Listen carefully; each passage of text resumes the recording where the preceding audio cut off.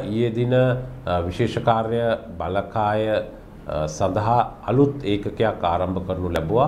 මෙය දිය මත විශේෂ ප්‍රහාරක විහිදුම් ඒකකය ලෙස හඳුන්වා තිබෙනවා.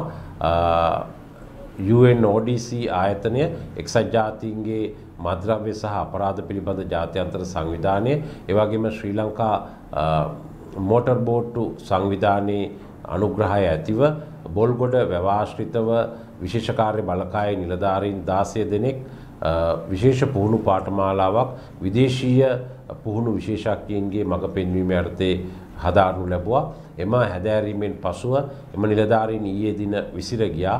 ඔවුන් මෙම විශේෂ දියමත ප්‍රහාරක බලකායේ කටයුතු කරනු ලබනවා. මෙම අවස්ථාවට නීති හා සාමය පිළිබඳ අමාත්‍ය රියා අද්මිරාල් ආචාර්ය සරත් වීරසේකර මහතාද සහභාගී වුණා. අද දිනේ සිට මෙම ප්‍රහාරක බලකාය විවිධ ප්‍රදේශවල රාජකාරි සඳහා යෙදවීම නියමිතයි.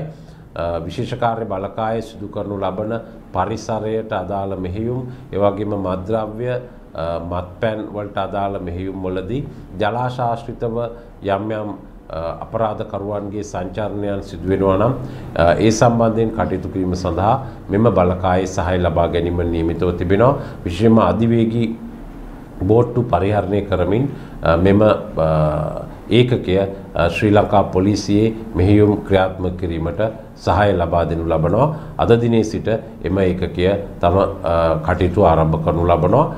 විවිධ මද්‍රව්‍ය ජාවාරම් සංවිධානාත්මක අපරාධ මේ සියල්ල හඹා යාමේදී ජලාශ තිබෙන ප්‍රදේශවල එසේත් නැතිනම් ගංගා ආශ්‍රිත ප්‍රදේශවල කටයුතු කිරීමට මෙම ඒකකයේ නිලධාරීන් යෙදවීමට කටයුතු කරනු ලබනවා.